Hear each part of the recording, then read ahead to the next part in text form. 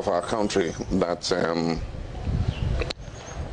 we do not continue, you know, what was left off by the previous government, especially in the transition between my administration and Nana Addo's administration.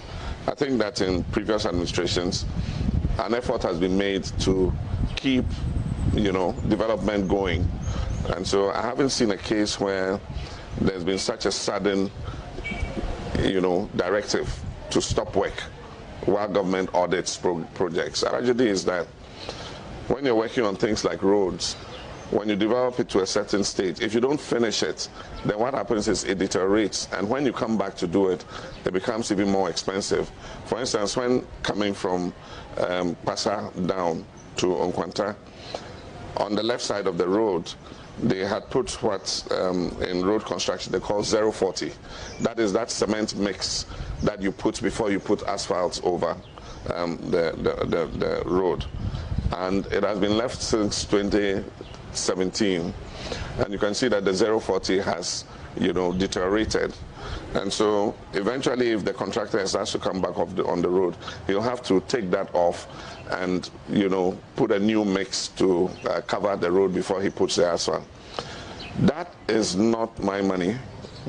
The money that was used to do that did not come from my pocket. It came from the pocket of the taxpayers.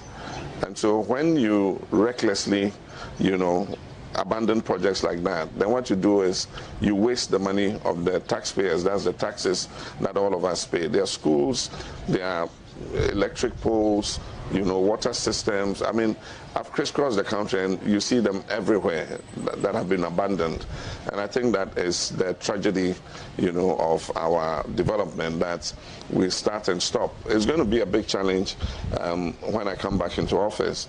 And um, what I have suggested to do is that we'll start no new projects, you know, in the first year.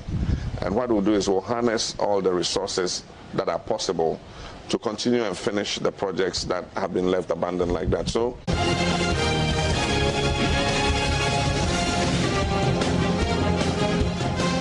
And you heard the former president talking about projects. Well, days after Vice President Dr. Bawumia's presentation on uh, achievements by government, especially in the area of infrastructure, the debate is far from over.